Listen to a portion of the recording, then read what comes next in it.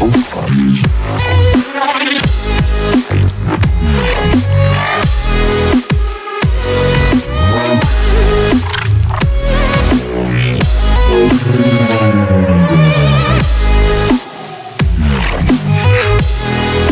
We'll be right back.